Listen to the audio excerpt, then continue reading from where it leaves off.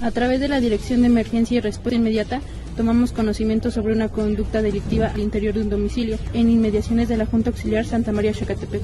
Enseguida se inició una persecución que culminó en la colonia Bosques de Manzanilla, donde logramos detener a ocho hombres y el aseguramiento de cinco armas de fuego. Cabe señalar que en la intervención se contó con el apoyo de la Guardia Nacional.